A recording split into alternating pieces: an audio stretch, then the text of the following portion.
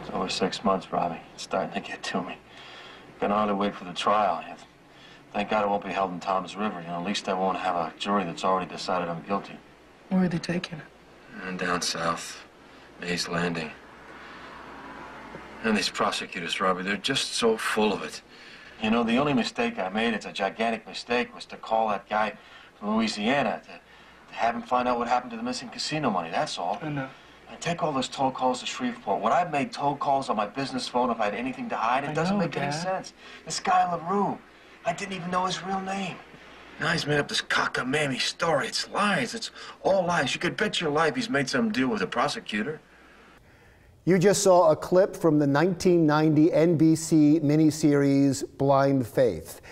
It is a miniseries based on the real life story of Robert Marshall, who was convicted of killing his wife in Ocean County, New Jersey.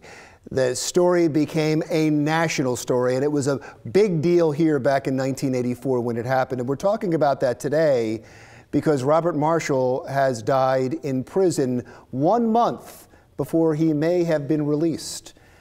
Erik Larsen from the Asbury Park Press and also APP.com has been covering that story. Thanks for joining us, first of all.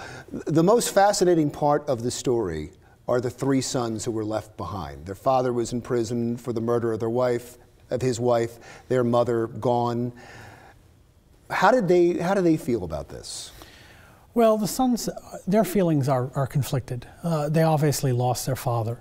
Uh, even the two eldest sons, which had fought so hard uh, to keep him in prison, um, their emotions are mixed. For the first, Let's stop for Yeah. one second because that was interesting. There's three sons.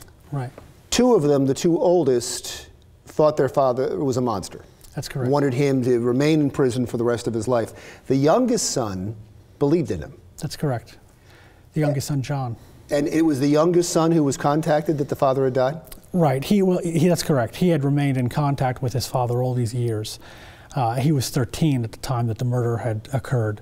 So he had, his loyalty had remained to his father, uh, despite obviously the grief he felt over his mother's loss and the facts of the case, which were overwhelming. And it's important to say that to the day that he died, the father, Robert Marshall, maintained his innocence. That's correct. That's correct. He, he, he considered himself complicit in her murder, uh, but he did not uh, accept responsibility for it. And from your reporting, are you convinced that he did it? Yes, I am.